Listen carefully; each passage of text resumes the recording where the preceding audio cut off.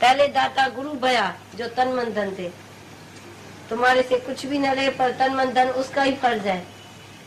उसका ही फ़र्ज़ है जो दाता बने, पहले दाता गुरु भया अब वे जो लेता है, उसका हाथ जलेला है। वो जो वर्ष शराब भी गुरु देता है, उसका भी मुँह जलेला है। हाथ भी जलेला है, वो जलेला ही है। तो कितना आपको ये कोई भी हम ऐसा नहीं करते हैं जो ज्ञान दे या कुछ भी सेवा करें वो हमारा जैसे फ़र्ज़ है। माँ को कभी तुमने बोला तुम इतना फ़र्ज़ क्यों करती है? माँ को बोला तुम्हारा धर्म है ना फ़र्ज़ करना मेरे को देती रहती दियो तो माँ से जास्ती तो भगवान है ना देने वाला। भगवान वो नहीं है जो लेने वाला बने। भगवान वो है जो देने वाला बने। यहाँ तो सब कुछ लेने ही लेना है आशा न करे और की आप करे उपकार। किसी में आशा न रखे। पर प्यार करते आए, प्यार करते आए, कभी थका ना आए। प्यार में कभी थका न हुए तो ये देखो जे, इतना विशाल तुमको नहीं सिखाएँ एक एक में प्यार न करें, किसी को ज़्यादा करें, किसी को कमती करें तो इसमें भी बेदबुद्धि आ जाएगी।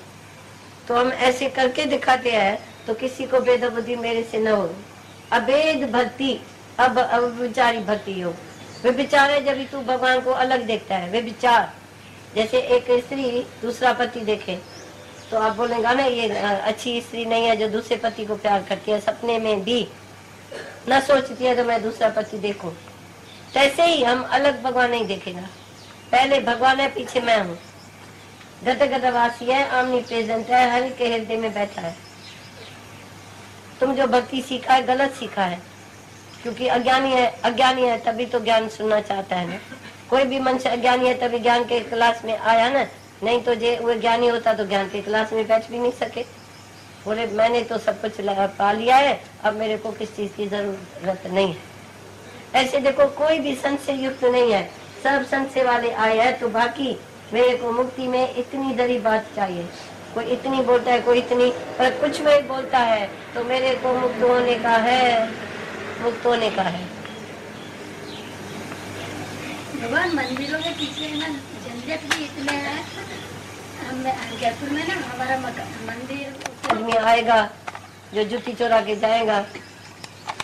टाइम पास करने आएगा, मनोरंजन करने आएगा, पर हमको चाहिए जग्यासु, जिसको मोक्ष की खाली इच्छा है। तो मुक्ति कैसे प्राप्त हो ज्ञान कैसे मिले वरा कैसे आए? तीन पर्सन है तुम्हारा। तीनों को तुम जब देखेगा तो विवेकी बनो देह छोड़ो। राजा जनक को बोलता है, तुम देह दास कैसे छोड़ेगा? तुमको पाँच विषय लगी पड़ी है, शब्द सपरस रूप, रस, गंध। जब ये पाँच विषय छोड़ेगा, तब तेरा देह दास छूटेगा।